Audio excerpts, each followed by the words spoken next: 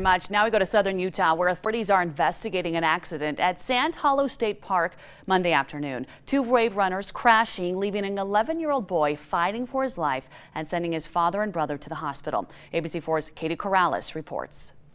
Now, park rangers here at Sand Hollow State Park say all the individuals involved in this accident knew each other and were spending the day out on the lake visiting from Arizona when one of the wave runners collided with the other and ended up going over the top of it. The call first came into dispatch at 2.30 Monday afternoon as a possible drowning about a half mile east of the rental shop on the South Beach. Authorities didn't learn until later that there were two watercrafts involved. Adult men were driving with younger kids on board. Luckily, we had some people on shore that heard uh, screaming for help.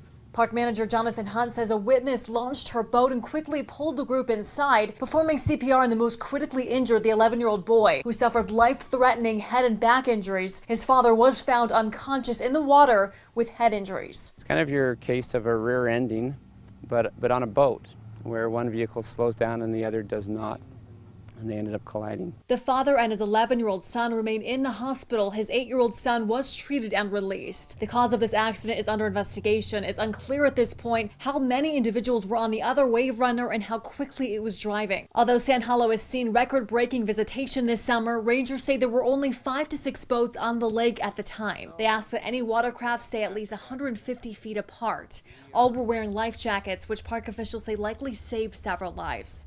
Katie Corrales, ABC4 News.